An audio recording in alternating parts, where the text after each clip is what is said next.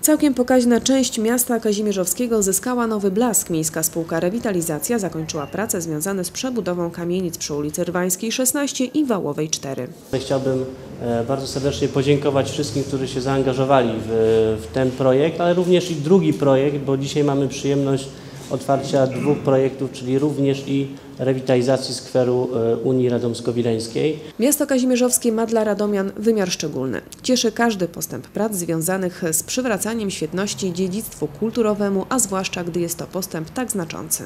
Dziękuję Wam za to, że angażujecie się w proces, który dla naszego miasta jest szalenie ważny, patrząc choćby za okno. I możemy porównywać obiekty już odnowione i piękne, ale też te obiekty, które wymagają bardzo ciężkiej pracy wielu z nas, wielu z Was, wielu instytucji, wielu e, osób bardzo mocno też e, osobiście zaangażowanych w ten proces, bo wiem, że bardzo wielu radomian, większości tych instytucji, które zostały dzisiaj wymienione, ale również tych, które ciężko pracują na co dzień wspólnie e, ze spółką Rewitalizacja, są mocno zaangażowani emocjonalnie w odbudowę i rewitalizowanie tej części naszego miasta, która bez wątpienia jest piękna, ale potrzebuje jeszcze mnóstwo ciężkiej pracy. Odbudowane kamienice stanowią część historycznej zabudowy. Kamienica Przerwańskiej powstała w końcu XVIII wieku. W jej obrębie znajduje się jeszcze starszy obiekt, oryginalny fragment fortyfikacji miejskiej z czasów lokacji Radomia na prawach miejskich w 1364 roku przez Kazimierza Wielkiego, który został poddany renowacji i wyeksponowany.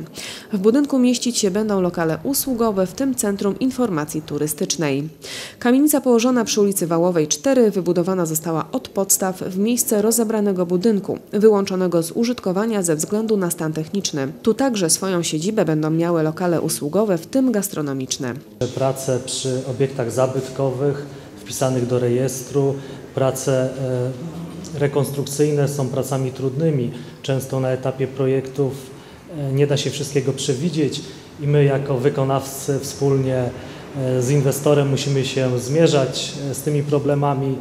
Tutaj przy tej inwestycji współpraca z zamawiającym była bardzo dobra, także udało nam się w uzgodnionym terminie zrealizować tą piękną inwestycję. Zakończyła się także rewitalizacja skweru Unii Radomsko-Wileńskiej związana z odtworzeniem przebiegu muru miejskiego. Założeniem projektowym było utrzymanie dotychczasowej domyślnej funkcji miejsca jako placu wypoczynkowego dla mieszkańców.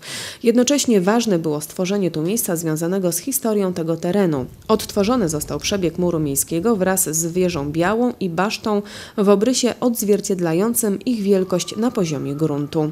Mur ułożony został na wysokości około 30 cm.